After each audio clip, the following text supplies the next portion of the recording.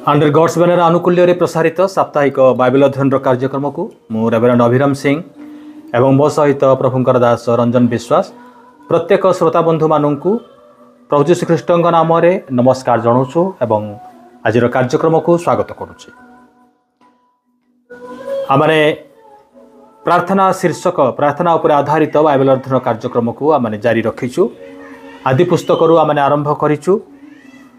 ଆଉ ମୁଁ ବିଶ୍ୱାସ କରେ ଯେ ଆପଣମାନେ ଏହି ପ୍ରାର୍ଥନା ଶୀର୍ଷକ ବା ପ୍ରାର୍ଥନା ଉପରେ ଆଧାରିତ ବାଇବଲ ଅଧ୍ୟୟନ କାର୍ଯ୍ୟକ୍ରମକୁ ଆପଣମାନେ ଶୁଣୁଛନ୍ତି ଏବଂ ଆଶୀର୍ବାଦ ପାଉଛନ୍ତି ଆଜି ମଧ୍ୟ ଆମେ ଆଉ ଗୋଟିଏ ଚମତ୍କାର ଏକ ଅଧ୍ୟାୟକୁ ଆମେ ଆସିବା ଆଉ ଗୋଟିଏ କାହାଣୀ ଆଉ ଗୋଟିଏ ପ୍ରାର୍ଥନାର ବିଷୟ ଆମେ ଆଜି ଆଲୋଚନା କରିବା ମାନେ ଆଉ ତାହା ଆପଣମାନେ ପାଇବେ ଆଦି ପୁସ୍ତକ ଚବିଶ ଅଧ୍ୟାୟ ଆମେ ଖୋଲିବା ବାଇବେଲ ମାନେ ଖୋଲିବା ଆଦି ପୁସ୍ତକ ଚବିଶ ଅଧ୍ୟାୟ ଆମେ ସବୁ ପଦଗୁଡ଼ିକ ଆମେ ପଢ଼ିବା ନାହିଁ କିନ୍ତୁ ଚବିଶ ପଦରୁ ଆମେ ଆଲୋଚନା ମାନେ କରିବା।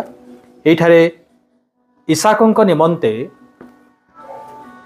କନ୍ୟା ଆଉ ଖୋଜିବା ପାଇଁ ଅବ୍ରାହମ ତାଙ୍କର ବିଶ୍ୱସ୍ତ ଦାସଙ୍କୁ ପଠାଉଛନ୍ତି। ତେବେ ତାଙ୍କର ଦାସ ସେ କିଭଳି ଭାବରେ ଜାଣିବେ ଯେ ଇସାକଙ୍କ ନିମନ୍ତେ ଯେଉଁ କନ୍ୟାକୁ ସେ ଖୋଜିବେ ତାହା ଈଶ୍ୱରଙ୍କର ମନୋନୀତା ଆଉ ହେବେ।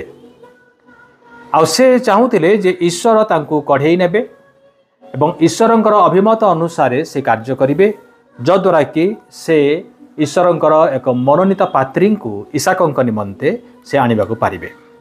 ତେବେ ଆସୁ ଆମମାନେ ଏଇ ବିଷୟଟିକୁ ଆମେ ଆଲୋଚନା କରିବା ପୂର୍ବରୁ ଆମେ ଅଳ୍ପ ଆମେ ପ୍ରାର୍ଥନା କରିବା।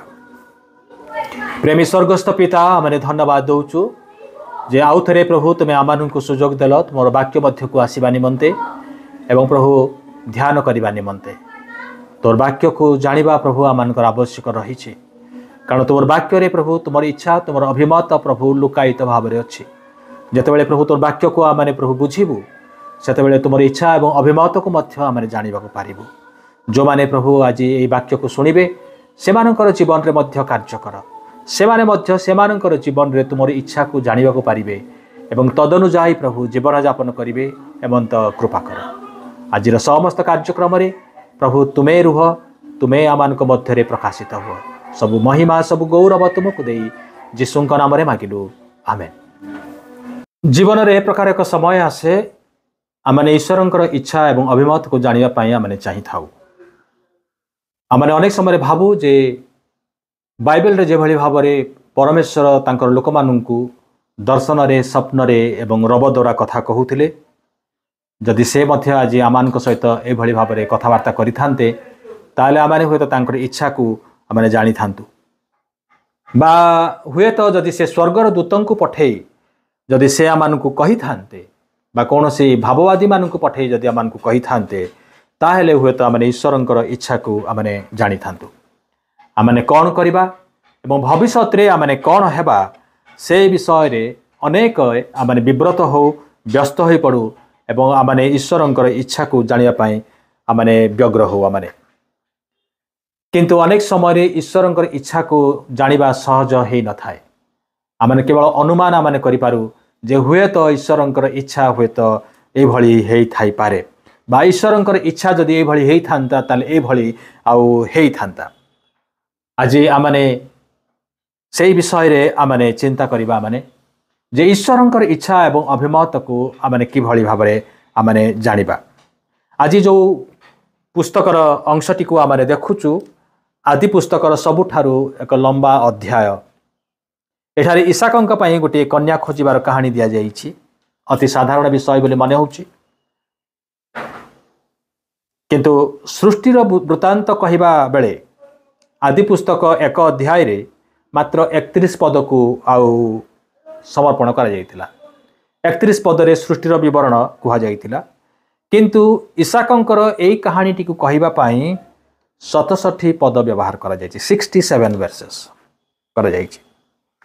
ଆଉ ଏ ଅଧ୍ୟାୟରେ ଆଉ ଗୋଟିଏ ବିଷୟ ରୋଚକ ବିଷୟ ରହିଛି ଯେ ଈଶ୍ୱର ସିଧାସଳଖ କହୁଥିବା କୌଣସି ବାକ୍ୟ ଏଠାରେ ଉଲ୍ଲେଖ କରାଯାଇ ନାହିଁ ଏବଂ ଈଶ୍ୱର କୌଣସି ଆଶ୍ଚର୍ଯ୍ୟ କାର୍ଯ୍ୟ ସାଧନ କରୁଥିବା ମଧ୍ୟ ଏଇଠାରେ ଉଲ୍ଲେଖ କରାଯାଇ ନାହିଁ ବା କୌଣସି ଭାବବାଣୀକୁ ମଧ୍ୟ ପ୍ରକାଶ କରାଯାଇ ନାହିଁ କହିବା ପାଇଁ ଗଲେ ଏହି ଅଧ୍ୟାୟଟି ଏଷ୍ଟର ପୁସ୍ତକ ସହିତ ପ୍ରାୟ ସମାନ କାରଣ ଏଷ୍ଟର ପୁସ୍ତକରେ ମଧ୍ୟ ଈଶ୍ୱରଙ୍କର ନାମ ଉଲ୍ଲେଖ କରାଯାଇ ନାହିଁ। କିନ୍ତୁ କାହାଣୀର ସର୍ବତ୍ର ଆମେ ଈଶ୍ୱରଙ୍କର କାର୍ଯ୍ୟକୁ ଆମେ ବୁଝିପାରୁ ଏବଂ ଈଶ୍ୱରଙ୍କର ପରିଚାଳନାକୁ ମଧ୍ୟ ଆମେ ଅନୁଭବ କରିପାରୁ। ଆଉ ଏଇ କାହାଣୀକୁ ଆମେ ଅନୁସରଣ କରୁ କରୁ ଆମେ ଏଇ ସିଦ୍ଧାନ୍ତ ଗୁଡ଼ିକ ଆମେ ଖୋଜିବା ଯେ ମୁଁ ଆଶା କରୁଛି ଯେ ଆମମାନଙ୍କର ଜୀବନରେ ଆପଣମାନଙ୍କର ଜୀବନରେ ଈଶ୍ୱରଙ୍କର ଇଚ୍ଛାକୁ ଭଲ ଭାବରେ ଜାଣିବାରେ ସହାୟକ ହେବ। ବର୍ତ୍ତମାନ ଅବ୍ରାହମ ବୃଦ୍ଧ ଅବସ୍ଥାରେ ଅଛନ୍ତି। ଚବିଶ ଅଧ୍ୟାୟର ଏକ ପଦ ଲେଖା ଅଛି ସେହି ସମୟରେ ଅବ୍ରାହମ ବୃଦ୍ଧ ଓ ଗତ ବୟସ୍କ ଥିଲେ ପୁଣି ସଦାପ୍ରଭୁ ଅବ୍ରାହମଙ୍କୁ ସବୁ ବିଷୟରେ ଆଶୀର୍ବାଦ କରିଥିଲେ। ଅବ୍ରାହମ ବୃଦ୍ଧ ଅବସ୍ଥାରେ ଅଛନ୍ତି। ଆଉ ତେଣୁ ସେ ଚାହୁଁଥିଲେ ଯେ ତାଙ୍କର ମୃତ୍ୟୁ ପୂର୍ବରୁ ଇସାକଙ୍କର ବିବାହ ଦେବା ନିମନ୍ତେ। ଆଉ ଏହି ସମୟରେ ସାରା ମଧ୍ୟ ସେ ଜୀବିତ ନାହାନ୍ତି। ଇସାକ ତାଙ୍କର ମାଆଙ୍କୁ ସେ ହରେଇଛନ୍ତି। ବାପା ବୃଦ୍ଧ ଅବସ୍ଥାରେ ଅଛନ୍ତି। ଇସ୍ମାଏଲ ସେ ବିଜାତୀୟ ସ୍ତ୍ରୀକୁ ବିବାହ କରିସାରିଛି। ଆଉ ଅବ୍ରାହମ ଚାହୁଁନାହାନ୍ତି ଯେ ତାଙ୍କର ଏକମାତ୍ର ପୁତ୍ର ପ୍ରତିଜ୍ଞାତ ପୁତ୍ର ଇସାକ ମଧ୍ୟ ଏଭଳି କୌଣସି ବିଦେଶିଆ କନ୍ୟାକୁ ସେ ଭଲ ପାଉ ଏବଂ ବିବାହ କରୁ। ଆଉ ସେଥି ନିମନ୍ତେ ସେ ତାଙ୍କର ବିଶ୍ୱସ୍ତ ଦାସଙ୍କୁ ଏ ଦାୟିତ୍ୱ ଦେଇକି ପଠାଇଲେ ଯେ ତାଙ୍କର ଗୋଷ୍ଠୀର ଲୋକମାନଙ୍କୁ ନିଜର କୁଟୁମ୍ବକୁ ସେ ଚାଲିଯିବେ ଏବଂ ଇଶାକ ନିମନ୍ତେ ଗୋଟିଏ ଝିଅକୁ ସେ ପସନ୍ଦ କରି ସେ ନେଇ ଆସିବେ। ଇଶାକଙ୍କ ପାଇଁ ଏକ କନ୍ୟା ଖୋଜିବା ନିମନ୍ତେ ସେ ଦାସ ଯିବେ କିନ୍ତୁ ତାଙ୍କର ସମ୍ପର୍କୀୟ ସ୍ଥାନକୁ ଆଉ ସେ ଯିବେ। କିନ୍ତୁ ତା ପୂର୍ବରୁ ଅବ୍ରାହମ ସେଇ ଦାସଙ୍କୁ ତାଙ୍କର ଜଙ୍ଘରେ ହାତ ରଖି ଏହି ଶପଥ କରେଇଲେ ଯେ ସେ କୌଣସି ମତେ ଆଉ ଅନ୍ୟ କୌଣସି ଜାତିରୁ ସେ ଆଉ କନ୍ୟାକୁ ଆଣିବେ ନାହିଁ। କେବଳ ତାଙ୍କର ସମ୍ପର୍କୀୟମାନଙ୍କ ମଧ୍ୟରୁ ସେ ଆଣିବେ। ସେଠି ମଧ୍ୟ କିଛି ସର୍ତ୍ତ ରହିଛି। ଯଦି ସେ ଝିଅ ଯଦି ସେ ଦାସ ସହିତ ହୁଏତ ସେ ଇଲିଆଜର ଥିଲେ ତାଙ୍କ ସହିତ ଯଦି ସେ ଆସିବାକୁ ଯଦି ଅମଙ୍ଗ ହେବେ ରାଜି ହେବେ ନାହିଁ ତାହେଲେ ସେ ଶପଥରୁ ସେ ମୁକ୍ତ ହେଇଯିବେ। ତେବେ ବର୍ତ୍ତମାନ ଅବ୍ରହାବଙ୍କର ବୃଦ୍ଧ ଦାସ କିଭଳି ଭାବରେ ଈଶ୍ୱରଙ୍କର ଇଚ୍ଛାକୁ ଜାଣିଲେ ଆଉ ଇଶାକଙ୍କ ନିମନ୍ତେ ଏକ ଉତ୍ତମ ପାତ୍ରୀ ମନୋନୀତ କଲେ ଆଉ କିଭଳି ଭାବରେ ସେ ଯୋଜନା ପ୍ରସ୍ତୁତ କରୁଛନ୍ତି ଆମେ ବାର ଅଧ୍ୟାୟ ସରି ବାର ପଦରୁ ଚଉଦ ପଦ ଆମେ ପଢ଼ିବା ଆଉ ଦେଖିବା। ପୁଣି ଏହି ପ୍ରାର୍ଥନା କଲା ହେ ମୋହର କର୍ତ୍ତା ଅବ୍ରାହମଙ୍କର ସଦାପ୍ରଭୁ ପରମେଶ୍ୱର ବିନୟ କରୁଅଛି ଆଜି ମୋ ସମ୍ମୁଖରେ ଶୁଭ ଫଳ ଉପସ୍ଥିତ କର ଆଉ ମୋ ପ୍ରଭୁ ଅବ୍ରାହମଙ୍କ ପ୍ରତି ଦୟା କର। ଦେଖ ମୁଁ ଏହି କୂପ ନିକଟରେ ଛିଡ଼ା ହେଉଅଛି। ଆଉ ଏ ନଗରବାସୀଗଣ ନଗରବାସୀମାନଙ୍କ କନ୍ୟାଗଣ ଜଳ ନେବା ପାଇଁ ଆସୁଅଛନ୍ତି। ସେମାନଙ୍କ ମଧ୍ୟରୁ କୌଣସି କନ୍ୟାକୁ ତୁମ୍ଭେ ଆପଣା କଳସ ନୁଆଇ ମୋତେ ଜଳପାନ କରାଅ। ଏହି କଥା କହିଲେ ସେ ଯେବେ କହିବ ପାନ କର। ମୁଁ ତୁମ୍ଭର ଓଟମାନଙ୍କୁ ହିଁ ପାନ କରାଇବି। ତେବେ ସେ ତୁମ୍ଭ ଦାସ ଇଶାକଙ୍କ ନିମନ୍ତେ ତୁମ୍ଭର ନିରୂପିତ କନ୍ୟା ହେଉ।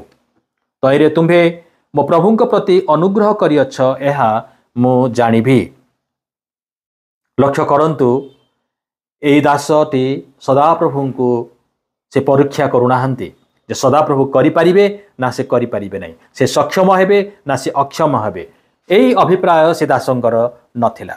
ସେ କିନ୍ତୁ ପ୍ରାର୍ଥନା କଲେ ସଦାପ୍ରଭୁଙ୍କ ନିକଟରେ ଯେ ଈଶ୍ୱରଙ୍କର ଅଭିମତକୁ ଜାଣିବା ନିମନ୍ତେ ସେ ଚାହିଁଲେ ଯେ ସେଥି ନିମନ୍ତେ ସେ କିଛି ସର୍ତ୍ତ ରଖୁଛନ୍ତି। ଯଦି ଏଭଳି ଯଦି ହେବ ତାହେଲେ ମୁଁ ଜାଣିବି ଯେ ସଦାପ୍ରଭୁଙ୍କର ଏଠାରେ ଅଭିମତ ଅଛି।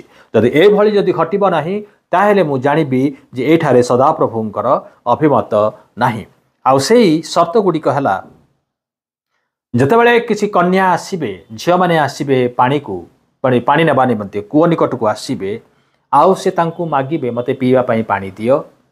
ଆଉ ସେତେବେଳେ ସେ ଝିଅଟି ତାଙ୍କୁ ପିଇବାକୁ ଦେବ। ପୁଣି ସେ ପିଇ ସାରିଲା ପରେ ଆପେ ଆପେ ପୁଣି ସେ କହିବ ଯେ ମୁଁ ତୁମର ଓଟମାନଙ୍କୁ ମଧ୍ୟ ପିଇବାକୁ ଦେବି। ଆଉ ସେତେବେଳେ ସେ ଦାସଟି ଜାଣିବେ ଯେ ଏଇ କନ୍ୟା ହିଁ ଈଶ୍ୱରଙ୍କର ମନୋନୀତା କନ୍ୟା। ଏ ପର୍ଯ୍ୟନ୍ତ ସେ ଦାସଟି ସେ ପ୍ରାର୍ଥନା କରି ସେ ଅପେକ୍ଷା କରୁଛନ୍ତି।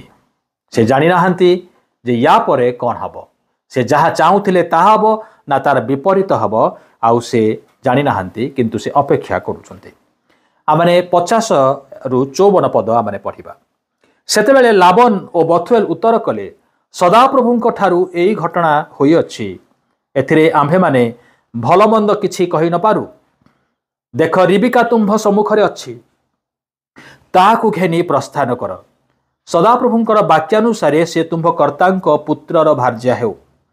ସେତେବେଳେ ଅବ୍ରାହମଙ୍କର ଦାସ ସେମାନଙ୍କ ଠାରୁ ଏହି କଥା ଶୁଣିବା ମାତ୍ରେ ସଦାପ୍ରଭୁଙ୍କ ଉଦ୍ଦେଶ୍ୟରେ ଭୂମିଷ୍ଠ ପ୍ରଣାମ କଲା। ଅନନ୍ତର ସେହି ଦାସ ରୂପା ଓ ସୁନାର ଆଭରଣ ଓ ବସ୍ତ୍ର ବାହାର କରି ରିବିକାକୁ ଦେଲା। ପୁଣି ତାହାର ଭ୍ରାତା ଓ ମାତାଙ୍କୁ ହିଁ ବହୁମୂଲ୍ୟ ଦ୍ରବ୍ୟ ଦେଲା। ତହିଁରେ ସେ ଓ ତାହାର ସଙ୍ଗୀଗଣ ଭୋଜନ ପାନ କରି ସେଇଠାରେ ରାତ୍ରି କ୍ଷେପଣ କଲେ। ଏ ଉତାରୁ ସେମାନେ ପ୍ରଭାତରେ ଉଠନ୍ତେ ସେଇ ଦାସ କହିଲା ମୋ ପ୍ରଭୁଙ୍କ ନିକଟକୁ ଯିବାକୁ ମୋତେ ବିଦାୟ କର। ଖ୍ରୀଷ୍ଟ ବିଶ୍ୱାସୀ ଭାବରେ ଅନେକ ଥର ଈଶ୍ୱରଙ୍କର ଚାଳନାକୁ ଅନୁଭବ କରି ଆମେ ଆସିଛୁ।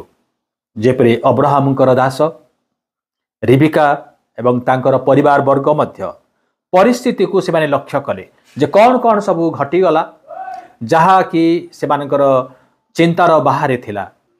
ଯୋଜନା କରିନଥିଲେ କିନ୍ତୁ ଆପେ ଆପେ ସେଗୁଡ଼ିକ ଘଟିଯାଉଛି। ଆଉ ସେମାନେ ସେଇ ସମସ୍ତ ଅବସ୍ଥାକୁ ପରିସ୍ଥିତିକୁ ଲକ୍ଷ୍ୟ କରିକି ଆଉ ସେମାନେ ଜାଣିଲେ ଯେ ଏଇଟା ଈଶ୍ୱରଙ୍କର କାର୍ଯ୍ୟ। ଆଉ ସେଥି ନିମନ୍ତେ ଆଉ ସେମାନେ ମାନିଗଲେ ଯେ ଏଇ ସମସ୍ତ ଘଟଣା ଉତ୍ତାରେ ସଦାପ୍ରଭୁଙ୍କର ଏଇ ଘଟଣା ହୋଇଅଛି। ଏଥିରେ ଆମେମାନେ ଭଲ ମନ୍ଦ କିଛି କହି ନପାରୁ ଲାବନ କହୁଛନ୍ତି ଯେ ସଦାପ୍ରଭୁଙ୍କର ହାତ ଅଛି ସଦାପ୍ରଭୁ ଏଇ ଘଟଣା ସବୁ ଘଟେଇଛନ୍ତି। ଆଉ ତେଣୁ ଆମେ ଆଉ କିଛି କହିପାରିବା ନାହିଁ ତେବେ ପ୍ରଶ୍ନ ଆସିବ ଯେ ଆମମାନେ ଆମମାନଙ୍କର ଜୀବନରେ ଈଶ୍ୱରଙ୍କର ଅଭିମତକୁ ଆମେ କେମିତି ଜାଣିବା ପ୍ରଥମ ସିଦ୍ଧାନ୍ତ ପ୍ରଥମ ନୀତି ହେଉଛି act on what you know is true ଯେ ଆପଣ ଯାହାକୁ ଜାଣନ୍ତି ସତ୍ୟ ବୋଲି ତା ଉପରେ କାର୍ଯ୍ୟ କରନ୍ତୁ ତାକୁ ପାଳନ କରନ୍ତୁ ଯାହା ସତ୍ୟ ବୋଲି ଜାଣନ୍ତି ତାକୁ ପାଳନ କରନ୍ତୁ ଅବ୍ରାହମ ବର୍ତ୍ତମାନ ଇଶାକ ମଧ୍ୟ ଜାଣିଥିଲେ ଯେ ଈଶ୍ୱର ସେମାନଙ୍କୁ କିଣାଣ ଦେଶରେ ବାସ କରିବା ପାଇଁ କହିଛନ୍ତି। ସେଥିପାଇଁ ସେମାନଙ୍କର ଦେଶକୁ ସେମାନେ ପରିତ୍ୟାଗ କରି ଆଉ ଏଠିକି ଆସିଛନ୍ତି। ଆଉ ସଦାପ୍ରଭୁ ପରମେଶ୍ୱର ଅବ୍ରାହମଙ୍କୁ ଆଉ ସେଇ ଦେଶଟି ଦେବା ନିମନ୍ତେ ପ୍ରତିଜ୍ଞା କରିଛନ୍ତି। ତାଙ୍କର ବଂଶଧରକୁ ଦେବା ନିମନ୍ତେ ପ୍ରତିଜ୍ଞା କରିଛନ୍ତି। ସେ ଇଚ୍ଛାକୁ ସଫଳ କରିବା ପାଇଁ ଅବ୍ରାହମ ଚାହିଁଲେ। ଆଉ ସେଥି ନିମନ୍ତେ ସେ ଦାସଙ୍କୁ କହିଲେ ଯେ ଇଶାକ ସେ କନ୍ୟା ପଛରେ ସେ ଯିବ ନାହିଁ କିନ୍ତୁ ସେ କନ୍ୟାଟି ଇଶାକଙ୍କ ଦେଶକୁ ଆସିବ। କାହିଁକି? ନା ଏଇ ଦେଶରେ ସେ ରହିବ। ଏଇ ଦେଶଟି ସଦାପ୍ରଭୁ ତାଙ୍କୁ ପ୍ରତିଜ୍ଞା କରିଛନ୍ତି ଦେବା ନିମନ୍ତେ। ଏହି ସତ୍ୟକୁ ଇଶାକ ଆଉ ଅବ୍ରାହମ ମଧ୍ୟ ଆଉ ସେମାନେ ଜାଣିଲେ। ତେଣୁ ଯେଉଁ ସମସ୍ତ ବିଷୟ ଈଶ୍ୱରଙ୍କର ବାକ୍ୟରେ ଲେଖା ଅଛି ଯେ ଆମେ ଜାଣୁ ଏହା ଈଶ୍ୱରଙ୍କର ଇଚ୍ଛା ବୋଲି ତାକୁ ଆଉ ଆମେ ଅଲଗା କରିପାରିବା ନାହିଁ ବା ତା ବିପରୀତରେ ଆମେ କିଛି କରିପାରିବା ନାହିଁ ବାକ୍ୟ ଯଦି କହୁଛି ଏହା ଈଶ୍ୱରଙ୍କର ଇଚ୍ଛା ତାମାନେ ସେଇଟା ଈଶ୍ୱରଙ୍କର ଇଚ୍ଛା ବୋଲି ଆମମାନଙ୍କୁ ମାନିବାର ଆବଶ୍ୟକ ରହିଛି ନୂତନ ନିୟମରେ ଅନ୍ତତଃ ଚାରିଥର କୁହାଯାଇଛି ଈଶ୍ୱରଙ୍କର ଇଚ୍ଛା କ'ଣ ଜୋହନ ଛଅ ଅଧ୍ୟାୟର ଚାଳିଶ ପଦରେ କାରଣ ଯେ କେହି ପୁତ୍ରଙ୍କୁ ଦର୍ଶନ କରି ତାହାଙ୍କଠାରେ ବିଶ୍ୱାସ କରେ ସେ ଯେପରି ଅନନ୍ତ ଜୀବନ ପ୍ରାପ୍ତ ହୁଏ ଏହା ହିଁ ମୋହର ପିତାଙ୍କର ଇଚ୍ଛା। ଆଉ ମୁଁ ତାହାକୁ ଶେଷ ଦିନରେ ଉତ୍ଥାପନ କରିବି। ଏଠି ଈଶ୍ୱରଙ୍କର ଇଚ୍ଛା କ'ଣ ଆଉ ପ୍ରକାଶ କରାଯାଇଛି। ଯେପରି ଲୋକମାନେ ଯେଉଁମାନେ ଯୀଶୁଙ୍କୁ ବିଶ୍ୱାସ କରିବେ ସେମାନେ ଅନନ୍ତ ଜୀବନ ପ୍ରାପ୍ତ ହୁଅନ୍ତି। ଏହା ଈଶ୍ୱରଙ୍କର ଇଚ୍ଛା। ଦ୍ୱିତୀୟ ବିଷୟ ଆମେ ପ୍ରଥମ ଥେସଲନିକି ଚାରି ଅଧ୍ୟାୟର ତିନି ପଦରେ ଆମେ ଦେଖୁଛୁ। କାରଣ ତୁମ୍ଭେମାନେ ଯେପରି ପବିତ୍ର ହୁଅ ଏହା ହିଁ ଈଶ୍ୱରଙ୍କର ଇଚ୍ଛା। ଅର୍ଥାତ୍ ତୁମ୍ଭେମାନେ ଯେପରି ବ୍ୟଭିଚାରରୁ ପୃଥକ ରୁହ ଆଉ ଯେପରି ଈଶ୍ୱରଙ୍କ ସମ୍ବନ୍ଧରେ ଅଜ୍ଞ ବିଜାତିମାନଙ୍କ ପରି କାମାଭିଳାଷୀ ନ ହୋଇ ପ୍ରତ୍ୟେକ ପବିତ୍ର ଓ ସମାଦର ଭାବରେ ଆପଣା ଆପଣା ନିମନ୍ତେ ଭାର୍ଯ୍ୟା କରି ଗ୍ରହଣ କରିବାକୁ ଜାଣ। ଆମମାନେ ଯେଭଳି ପବିତ୍ର ଜୀବନଯାପନ କରିବା ଏହା ଈଶ୍ୱରଙ୍କର ଇଚ୍ଛା। ବ୍ୟଭିଚାର କରିବା ନାହିଁ ଏହା ଈଶ୍ୱରଙ୍କର ଇଚ୍ଛା। କାମାଭିଳାଷୀ ହେବା ନାହିଁ ଏହା ଈଶ୍ୱରଙ୍କର ଇଚ୍ଛା।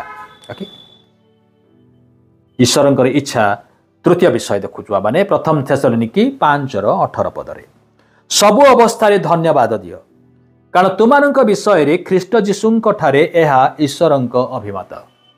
ସବୁ ଅବସ୍ଥାରେ ତାର ଅର୍ଥ ହେଉଛି ସୁଖ ସମୟରେ ଦୁଃଖ ସମୟରେ ମଧ୍ୟ ଆମମାନେ ଖ୍ରୀଷ୍ଟଙ୍କୁ ଆମମାନେ ଧନ୍ୟବାଦ ଦେବୁ ଆମମାନେ ଈଶ୍ୱରଙ୍କୁ ଆମମାନେ ଧନ୍ୟବାଦ ଦେବୁ କାରଣ ଏହା ଈଶ୍ୱରଙ୍କର ଇଚ୍ଛା ଅଟେ ଚତୁର୍ଥ ବିଷୟ ପ୍ରଥମ ପିତର ଦୁଇ ଅଧ୍ୟାୟ ତେରରୁ ପନ୍ଦର ପଦ ପ୍ରଭୁଙ୍କ ସକାଶେ ସମସ୍ତେ ମାନବୀୟ ବିଧାନର ବଶୀଭୂତ ହୁଅ ସର୍ବପ୍ରଧାନ ରାଜା ହୁଅନ୍ତୁ କିମ୍ବା ଦୁଷ୍କର୍ମକାରୀମାନଙ୍କୁ ପ୍ରତିଫଳ ଦେବା ନିମନ୍ତେ ଓ ସତ୍କର୍ମୀମାନଙ୍କୁ ପ୍ରଶଂସା କରିବା ନିମନ୍ତେ ତାହାଙ୍କ ଦ୍ୱାରା ପ୍ରେରିତ ଶାସନକର୍ତ୍ତାମାନେ ହେଉନ୍ତୁ ସେମାନଙ୍କର ବଶୀଭୂତ ହୁଅ।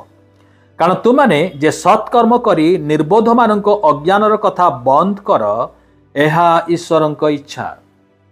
ଶାସକମାନଙ୍କର ବଶୀଭୂତ ହେବା ଈଶ୍ୱରଙ୍କର ଇଚ୍ଛା ଅଟେ। ଆମେ ଏଇଠୁ ଆମେ ଆରମ୍ଭ କରିବା। ଆମେ ଜାଣୁ ଈଶ୍ୱର କ'ଣ ଚାହାନ୍ତି। ଆମେ ପବିତ୍ର ହେବା ଆମେ ଆମେ ତାଙ୍କୁ ବିଶ୍ୱାସ କରିବା ଏବଂ ଅନନ୍ତ ଜୀବନ ଆମେ ଲାଭ କରିବା। ବ୍ୟଭିଚାରରୁ ପୃଥକ ରହିବା। ଜାଗତିକ ଶାସକମାନଙ୍କର ବଶୀଭୂତ ହେବା। ପୁଣି ଯାହା ନ୍ୟାୟସଙ୍ଗତ ତାହା କରିବା। ବାଇବେଲକୁ ଆପଣ ଖୋଲନ୍ତୁ ଆଉ ପଢ଼ନ୍ତୁ ଏବଂ ଯଦି ଆପଣ ଯଦି କୌଣସି ସମସ୍ୟାର ସମ୍ମୁଖୀନ ହେଉଛନ୍ତି ଆଉ ସେଇ ସମ୍ପର୍କରେ ଯଦି ଏଇଭଳି କିଛି ଯଦି ବିଷୟ ପାଉଛନ୍ତି ଆଉ ଜାଣିବାକୁ ପାରିଲେ ଯେ ଏଇଟା ଈଶ୍ୱରଙ୍କର ଇଚ୍ଛା ନୁହେଁ ତାହେଲେ ତାହା କରନ୍ତୁ ନାହିଁ। ତା ଈଶ୍ୱରଙ୍କର ବିପରୀତ ହେବ। ଯଦି ଜଣେ ଲୋକ କହିବ ଯେ ମୁଁ ବ୍ୟଭିଚାର କାର୍ଯ୍ୟ କରିବି କାରଣ ମୋତେ ଭଲ ଲାଗୁଛି କିନ୍ତୁ ବାକ୍ୟ କହୁଛି ଏହା ଈଶ୍ୱରଙ୍କର ଇଚ୍ଛା ନୁହେଁ। ତଥାପି ସେ କହିବ ବୋଧେ ହେଇପାରେ ଈଶ୍ୱରଙ୍କର ଇଚ୍ଛା ହୁଏତ ଏଥିରେ ଥାଇପାରେ। ସେ ଭୁଲ କହୁଛନ୍ତି। ବାଇବେଲ କୁହେ ଯେ ବିଶ୍ୱାସୀ ସହିତ ଅବିଶ୍ୱାସୀର କୌଣସି ସମ୍ପର୍କ ନାହିଁ। ସମାନ ଭାବରେ ଯୋଚା ନଯାଉ ସେହି ସମୟରେ ଯଦି ଜଣେ କହିବେ ଯେ ନା ମୁଁ ଜଣେ ଅବିଶ୍ୱାସୀ ଆଉ ଝିଅ ସହିତ ମୋର ବିବାହ କରିବି ବା ଅବିଶ୍ୱାସୀ ଗୋଟିଏ ପୁଅ ସହିତ ମୁଁ ବିବାହ କରିବି। ତାପରେ ଆମେ କହିବା ଯେ ହୁଏତ ଈଶ୍ୱରଙ୍କର ଇଚ୍ଛା ଅଭିମତ ରହିଛି। ଆପଣ ଭୁଲରେ ଆଉ ରୁହନ୍ତୁ ନାହିଁ ଭ୍ରାନ୍ତ ହୁଅନ୍ତୁ ନାହିଁ। ଈଶ୍ୱରଙ୍କର ବାକ୍ୟ ସ୍ପଷ୍ଟ ରୂପେ କହିଦେଇଛି ଯେ ତାହା ଈଶ୍ୱରଙ୍କର ଇଚ୍ଛା ନାହିଁ। ଯଦି ଆପଣ ଯଦି ଈଶ୍ୱରଙ୍କର ଇଚ୍ଛାକୁ ପରିବର୍ତ୍ତନ କରିବା ପାଇଁ ପ୍ରାର୍ଥନା କରିବେ ଉପବାସ କରିବେ ତାହେଲେ ଆପଣଙ୍କର ସମୟ ଆପଣ ନଷ୍ଟ କରୁଛନ୍ତି। ଈଶ୍ୱରଙ୍କର ସମୟକୁ ମଧ୍ୟ ନଷ୍ଟ କରିବେ।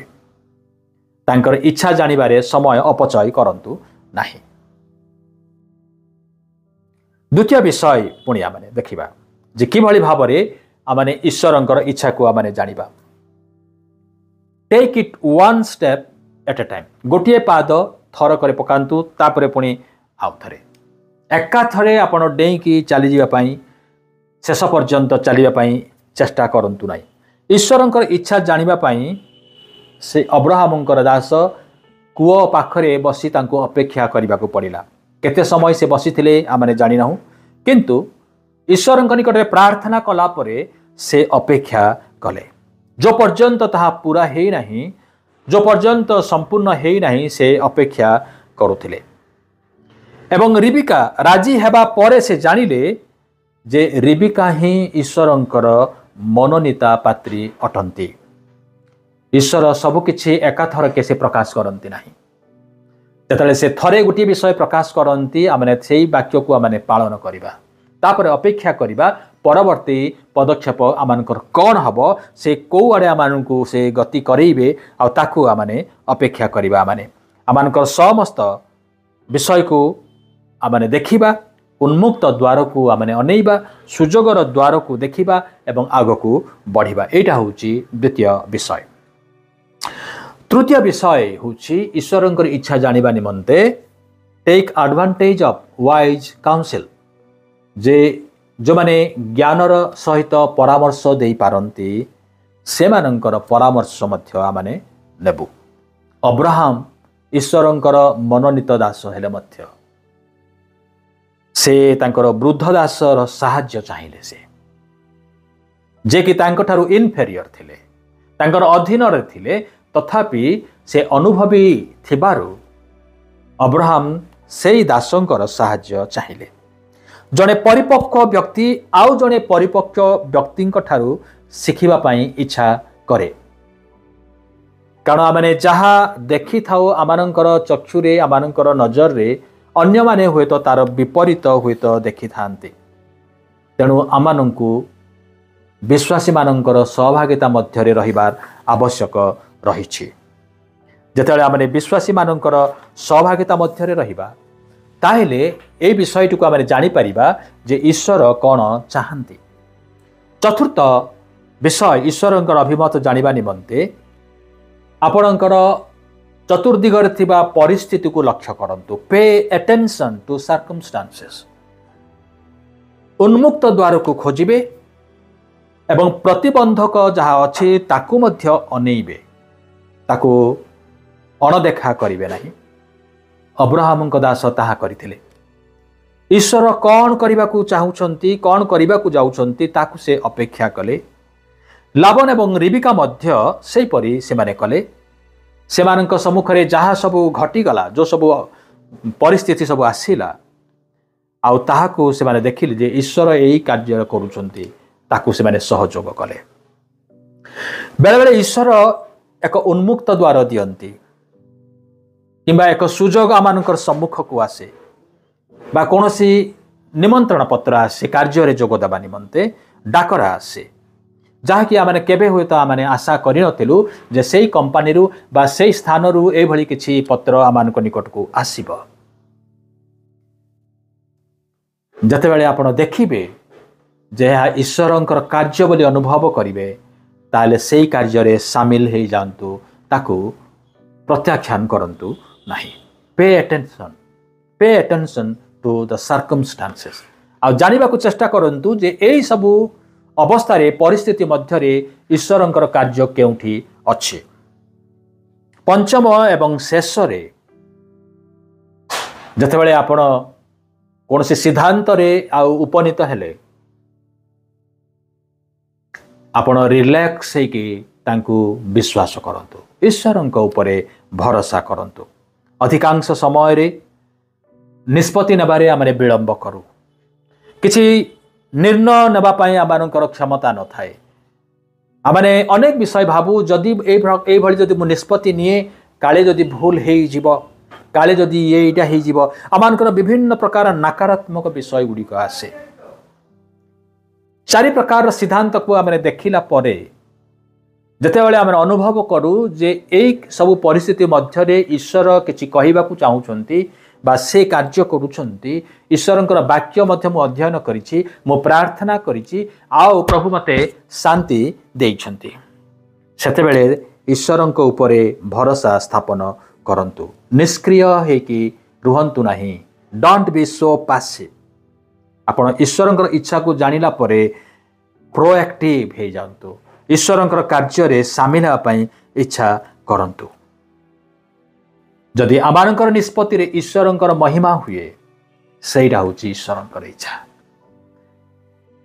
ଯେତେବେଳେ ସେଇ ଅବ୍ରାହମଙ୍କର ଦାସ ଦେଖିଲେ ରିବିକା ରାଜି ହେଇଗଲେ ରିବିକାର ପରିବାର ରାଜି ହେଇଗଲେ ଆଉ ସେମାନଙ୍କୁ ସେ ଉପହାର ଦେଲା ପରେ ଲେଖା ଅଛି ଯେ ଈଶ୍ୱରଙ୍କୁ ସେ ଭୂମିଷ୍ଠ ପ୍ରଣାମ କରି ତାଙ୍କୁ ଧନ୍ୟବାଦ ଦେଲେ ଯେ ଈଶ୍ୱର ମୋତେ କଢ଼େଇ ଆଣିଲେ ଆଉ ସେ ମୋର କାର୍ଯ୍ୟରେ ସଫଳତା ଦେଲେ। ଈଶ୍ୱରଙ୍କର ଇଚ୍ଛାକୁ ସେ ଜାଣିପାରିଲେ ଏବଂ ଈଶ୍ୱରଙ୍କୁ ସେ ଧନ୍ୟବାଦ ଦେଲେ। ଆପଣ ପ୍ରାର୍ଥନା କରିବେ? ଈଶ୍ୱରଙ୍କର ଇଚ୍ଛା ଜାଣିବା ନିମନ୍ତେ କିନ୍ତୁ ଈଶ୍ୱରଙ୍କର ଇଚ୍ଛା ଜାଣିବା ନିମନ୍ତେ ପ୍ରାର୍ଥନା କେବଳ ଯଥେଷ୍ଟ ନୁହେଁ।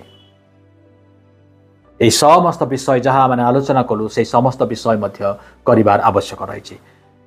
ପ୍ରଭୁ ଦୟା କରନ୍ତୁ ଆପଣଙ୍କୁ ଯେ ଆପଣଙ୍କର ନିଷ୍ପତ୍ତିରେ ଆପଣ ବିଫଳ ହେବେ ନାହିଁ। ଈଶ୍ୱର ଆପଣଙ୍କୁ ଆପଣଙ୍କର ଲକ୍ଷ୍ୟସ୍ଥଳରେ ପହଞ୍ଚାଇବା ପାଇଁ ଏବଂ ଈଶ୍ୱରଙ୍କର ମନୋନୀତ ସ୍ଥାନକୁ ନେଇଯିବା ନିମନ୍ତେ ସେ ସକ୍ଷମ ଅଟନ୍ତି ଆଉ ସେ ଆପଣଙ୍କୁ ସାହାଯ୍ୟ କରିବେ। ପ୍ରଭୁ ପ୍ରତ୍ୟେକଙ୍କୁ ଆଶୀର୍ବାଦ କରନ୍ତୁ। ନମସ୍କାର। ଆସନ୍ତୁ ଆମେ ପ୍ରାର୍ଥନା କରିବା। ସ୍ୱର୍ଗସ୍ଥ ପିତା ଆମେ ଧନ୍ୟବାଦ ଦେଉଛୁ। ତୁମର ଇଚ୍ଛା ଏବଂ ଅଭିମତକୁ ଜାଣିବା ଆମମାନଙ୍କର ଆବଶ୍ୟକ। କିନ୍ତୁ ଅନେକ ସମୟରେ ପ୍ରଭୁ ଆମେ ନିଷ୍ପତ୍ତି ନେଇପାରିନଥାଉ। ବା ତୁମର କାର୍ଯ୍ୟକୁ ପ୍ରଭୁ ଆମେ ଦେଖିନଥାଉ ଅଣଦେଖା କରିଥାଉ। ଏହି ସମସ୍ତ ଭ୍ରମାତ୍ମକ ବିଷୟଠାରୁ ଆମମାନଙ୍କୁ ତୁମେ ଦୂରରେ ରଖ ଏବଂ ପ୍ରଭୁ ତୁମେ ଆମମାନଙ୍କୁ ସାହାଯ୍ୟ କର ତୁମର କାର୍ଯ୍ୟକୁ ତୁମର ଗାଇଡେନ୍ସକୁ ପ୍ରଭୁ ତୁମର ପରିଚାଳନାକୁ ବୁଝିବା ନିମନ୍ତେ ଜାଣିବା ନିମନ୍ତେ ଆଉ ତୁମେ ଦୟା କର। ଆଜିର ବାକ୍ୟରେ ମଧ୍ୟ ଅନେକଙ୍କୁ ତୁମେ କଥା କହି ଆଶୀର୍ବାଦ ଯୁକ୍ତ କର। ସବୁ ଗୌରବ ପ୍ରଶଂସା ତୁମକୁ ଦେଇ ଯୀଶୁଙ୍କ ନାମରେ ମାଗିଲୁ। ଆମେନ୍। ନମସ୍କାର।